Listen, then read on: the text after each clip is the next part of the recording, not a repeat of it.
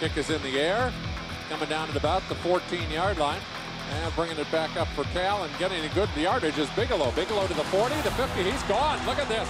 30, 50, 20, 10, 5. Touchdown Bears. Bigelow scores on the kick return.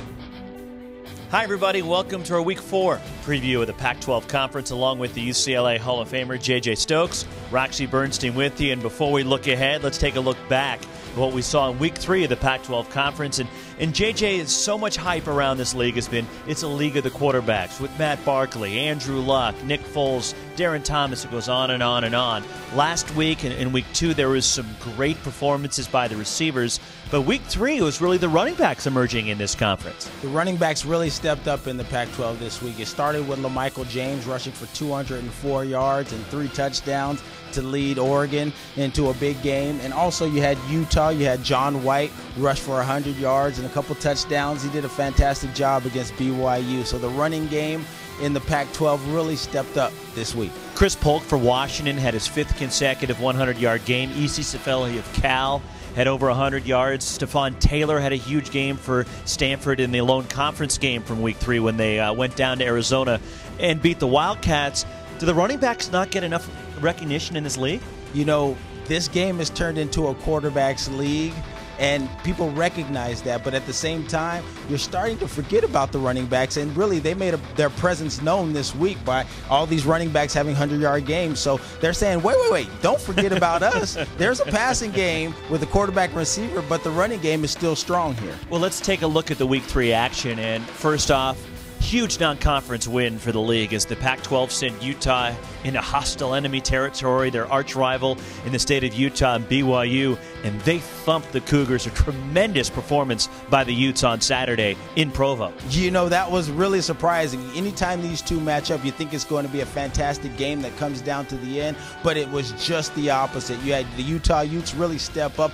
John White came to play, and so did Jordan Wynn, and they just ran up the score on this BYU team. Historically, a team that's been a team that's put up several points, but that defense just stymied BYU's offense. Tremendous non conference win for Utah. Another good non conference win. USC hammered Syracuse in the Coliseum. And, and Matt Barkley, five touchdown passes to five different receivers as the Trojans even though the running game might be struggling a little bit, but their passing game is really in sync right now. I mean, anytime you can throw the ball to five different receivers for touchdowns speaks a lot about your passing game. But let's talk about the defense. I mean, you have Wes Horton, you have Nick Perry guys that come off the ends, and this defense only allowed 47 net yards rushing. So they did an outstanding job against Syracuse. We had one conference game that took place in week three down in Tucson where Stanford went down, the number six Cardinal with a tremendous performance against the Arizona Wildcats, beating them convincingly. Now, Stanford suffered a big loss in that game as their linebacker, their all Pac 12 performer, Shayne Skov, lost for the year. JJ, how much does that hurt Stanford by losing Skov? You know, he is their vocal leader, he is their mental leader, and he's a guy that just leads by example. It is a huge impact on this Stanford defense, a guy that makes all the calls, being a linebacker. He tells everybody where to line up and gets his secondary in place to be, make some plays. And now that he's gone, they're going to have to lean on somebody else to really come in and be that vocal leader and, and really step up and show by example. Let's look ahead to the first real weekend of conference action in the Pac 12 that all is pointing toward the, the first ever, the inaugural Pac 12 championship game, which will take place at the end of the season. And the first big game we're going to take a look at, JJ, the Washington Huskies off a tough loss at Nebraska. They're 2 and 1, hosting 3 0 Cal. And what's a big tilt for both sides, the Huskies trying to keep it rolling at home no doubt the Huskies are trying to keep it rolling at home. And, a lot of the, the burden of, of being successful is going to rely on Chris Polk's shoulders, a guy that, like you said, had five 100 yard games. And, and he's an outstanding running back. In addition to him, you have Devin Aguilar and you have Jermaine Kearse, uh, guys that can catch the ball on the outside and make something happen offensively. But for me, what's going to tell the tale of what can happen in this game is can Cal's defense step up? And, and really stunt the growth of this uh, Washington offense. Well, JJ, you see the Cal defense is a big key in this matchup with Washington, but what do you see from their offense? Their quarterback is really emerging as a leader, Zach Maynard, and he has a lot of weapons to choose from. He definitely has stepped up a, a, a position that we didn't know what we were going to get at Cal. And so you look at what he's done with Marvin Jones and Keenan Allen spreading the wealth in the passing game and Isi Sofele, really a consistent running back that has been overlooked because the passing game has been so strong.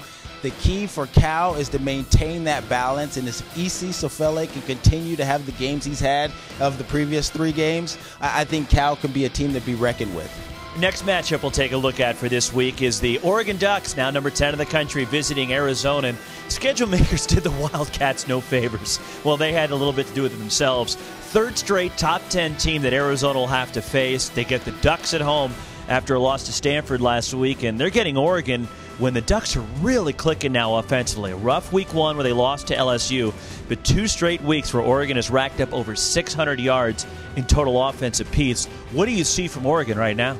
You know, the Oregon Ducks are really trying to establish some balance likewise. We know that they have LaMichael James in the running game, and passing wise, Lavasier Tuinei is really stepping his game up. So I think the passing game really taken to the forefront this past week allows this team to be a dual threat. With that, I think that they have a chance to to to win their games and, and flourish in this conference. For Arizona, they've hit a tough skid, losing Oklahoma State and Stanford. They're taking on Oregon at home, and Nick Foles is having a tremendous season for them so far. Juron Criner, they got him back last week miraculously, 12 days after an appendectomy, but they need some help, don't they?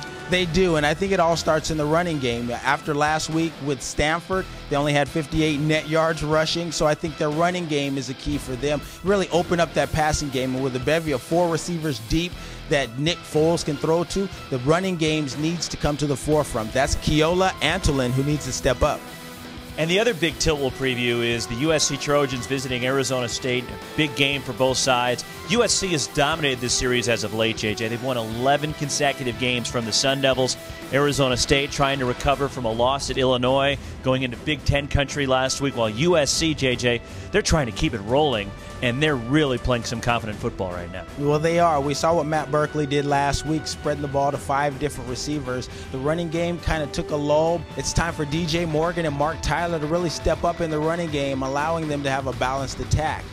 And for the Sun Devils, JJ, Brock Osweiler had an okay game by his standards because he's emerging as one of the top quarterbacks in college football. He needs to have a big game and big production from his receivers, Gerell Robinson and Aaron Pflugrad this week. I think so. I think he needs to stay in that pocket and find his open guy and make something happen. You have Cameron Marshall, I think, who needs to step up also in the running game and make something happen. But for me, this game lies on the defense of ASU. You have Vontaze Burfict, the guy that is projected to be an All American, and we know what they can do in the running game. But Vontaze and Bradford and Aaron Oliver, these guys in the passing game can have a big influence uh, against USC. They're going to have to make their impact defensively in order to beat USC. A couple other important games this weekend involving Pac 12 teams. One other conference game as UCLA, you can catch JJ Stokes in the broadcast in FSN West. The Bruins visiting Oregon State. In a big non conference tilt, Colorado heading into Big Ten country. The Buffs take on Ohio State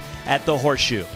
Every game involving Pac 12 teams on television this week. It won't be hard to find them. Cal Washington, you can find it on FSN, 1230 Pacific kick. Colorado at Ohio State on ABC, same time, 1230 Pacific, 130 for our friends in the Mountain Time Zone. Also at 12:30 Pacific, UCLA at Oregon State with JJ Stokes on the call on FSN Prime Ticket. Oregon visits Arizona, ESPN2 Saturday night 7:15 kick, 8:15 Mountain Time, and last but not least 7:15 Pacific, 8:15 Mountain, USC Arizona State on ESPN. So for JJ Stokes, Roxy Bernstein, thanking you for joining us. We'll see you right here next week. This is your Pac 12 preview.